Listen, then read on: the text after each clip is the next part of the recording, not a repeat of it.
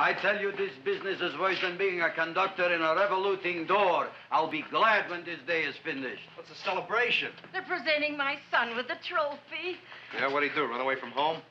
Please don't look at me that way, Audrey. I want to talk to you. I'm sorry, Seymour. I just don't understand you. I'll explain everything after the ceremony. You, police, what are you doing here? Heard there was something going on here this evening. Just thought we'd come by and keep an eye on things. Look, we don't need no eyes kept on nothing. Wait, Everything. wait, the Society of Silent Flower Observers has arrived and sunset is almost upon us. Welcome, lady and gentlemen. We are honored for to have you. Still working on those disappearances. We think they were murdered. Hey, look here, young man. That's no way to talk at a time like this. Let me see your tongue. Uh-huh. Now, what you got?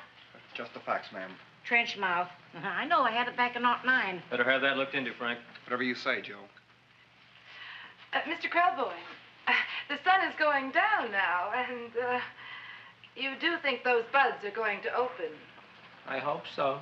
Because if they don't, Mr. Krelboyne, we shall just have to present the award at another time. Oh, it's starting to open. Isn't that Mark.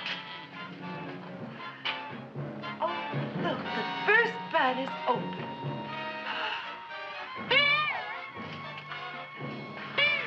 Isn't that the... Railroad cop. Look at the rest.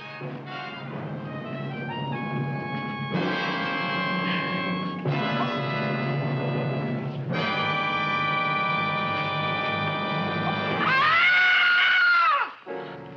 What do you think, Frank? They're all there, Joe. Yes, you're right.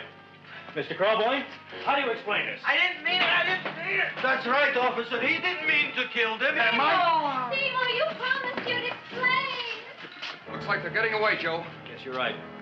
Let's catch him. Right.